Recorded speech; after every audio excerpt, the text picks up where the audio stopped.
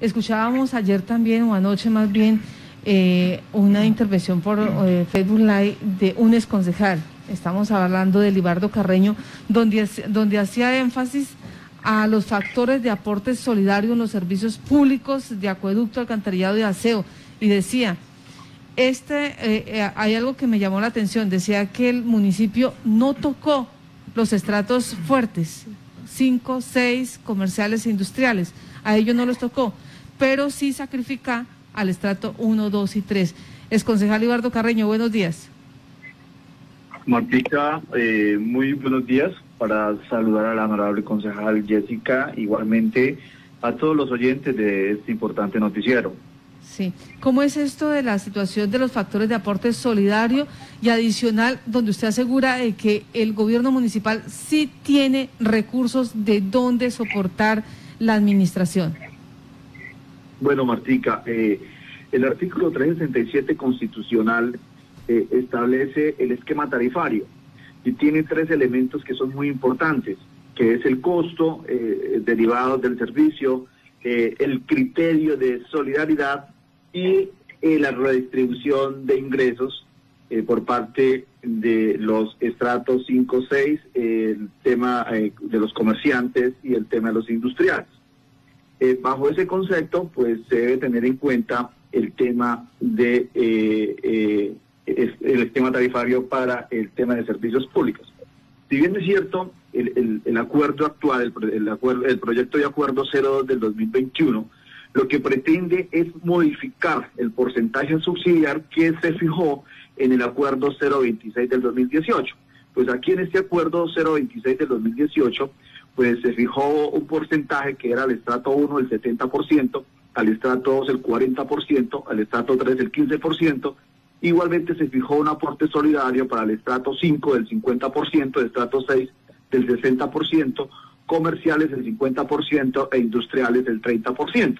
Ahora, ¿qué es lo que pretende el señor Luis Eduardo Castro y el Consejo Municipal? Disminuirlo, disminuirlo. En el estrato 1 del 70 lo pasa al 55%, donde hay una disminución del 15%. El estrato 2 del 40 lo pasa al 21%, desde luego habiendo una disminución del 19%, y el estrato 3 del 15% al 100%. Allí, pues, eh, según él, a este estrato no se va a subsidiar nada mientras que lo del tema del aporte solidario los dejó igual, los dejó igual. Entonces, desde luego que aquí rompe ese, ese, ese criterio de solidaridad que impone el 367 constitucional.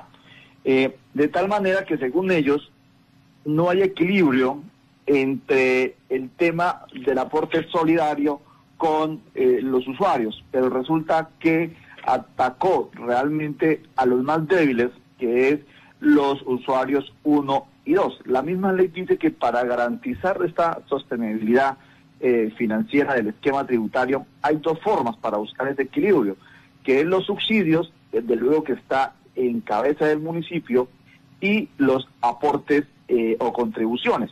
Pero aquí en este proyecto, desde luego que no se tocó a esos aportes dejó el mismo y por lo contrario el municipio está evadiendo su responsabilidad que le impone la ley. Desde luego el artículo 368 habla de conceder subsidios y estos subsidios van especialmente para que las personas de menores ingresos puedan pagar las tarifas de los servicios públicos.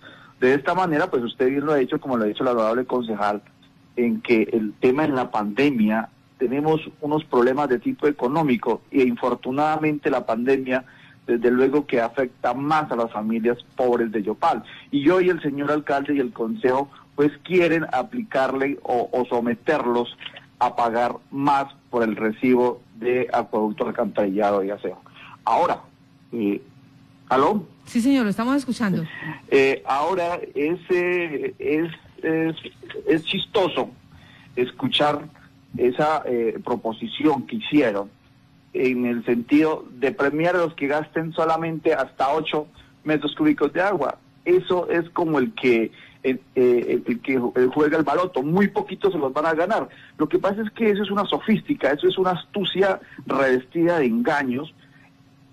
para que eh, dar como generar una cortina de humo para que para el tema del, estrato 1 y 2, a sabiendas que hoy en día eh, la gente por lo mínimo, un hogar gasta alrededor de 10, 12 centímetros cúbicos de agua y que realmente no van a cumplir esa meta y por lo tanto los condenan a todos a pagar ese los subsidios que hoy la alcaldía quiere quitarse esa responsabilidad. Y como lo han manifestado, hay muchos factores que no es la época para hacer esto. O sea, no se puede cumplir ese mínimo eh, de gasto de agua cuando estamos en plena pandemia y le dicen a todo el mundo, lávese las manos.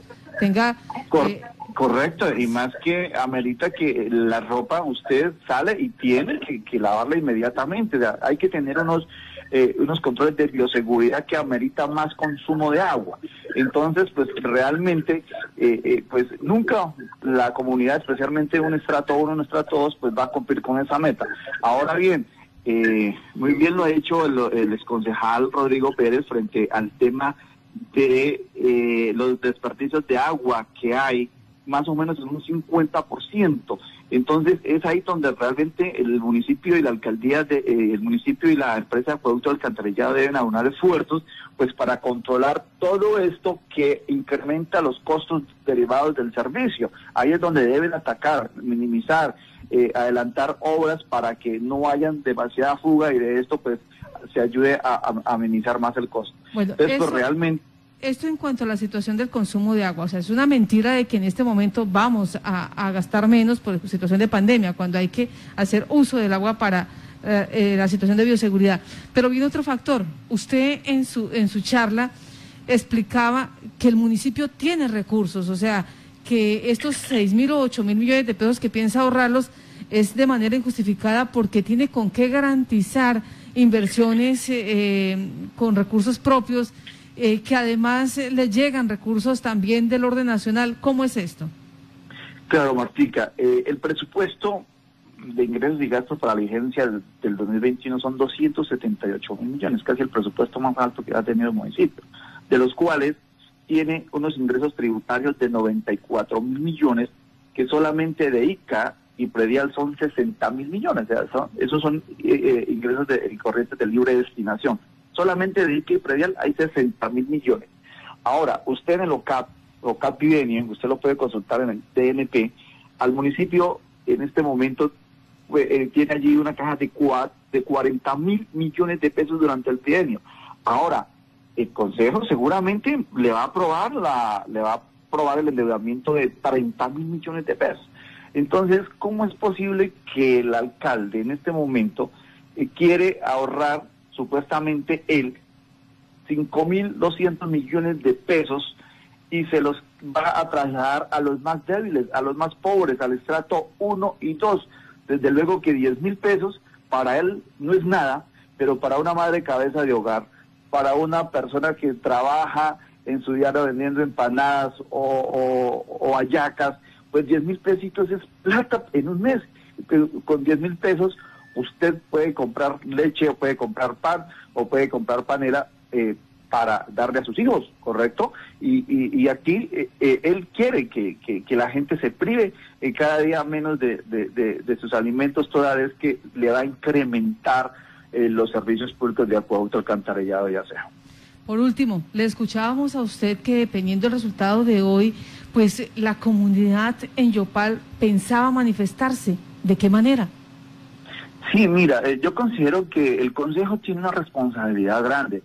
Y yo invito a muchos concejales que, que, son de causas nobles. El concejal Alex Rojas, eh, un luchador por, por la defensa de los más necesitados. Y, el concejal realmente con estas decisiones están condenando al pueblo. El, el Consejo en este momento tiene una oportunidad de reivindicarse con el pueblo y archivar ese proyecto. Y el Consejo lo aprueba, pues desde luego que va para el Ejecutivo para que éste lo sancione, ¿correcto? Y una vez sancionado, pues ya, eh, ya eh, cumple los efectos jurídicos de del acuerdo. De tal manera, eh, si el Consejo lo aprueba, el pueblo va a marchar. Va a marchar y le va a exigir al señor alcalde que no cometa ese exabrupto contra el pueblo de condenarlo. yo os invito a la comunidad, porque es que esto nos toca a todo mundo. Vea, el estrato 3, yo nomás aquí en Torres de Cubarro estoy pagando 61 mil pesos del tema del agua, este servicio, y el, me subsidian 7, 8 mil mil 500 pesos. Me los van a quitar. Entonces ya no voy a pagar 61, sino voy a pagar 70 mil pesos. Entonces esto nos toca a todo mundo y debemos de manifestarnos de una manera pacífica y seguramente el pueblo se va a manifestar mediante una caravana, solamente de carros y motos, por el tema de la pandemia.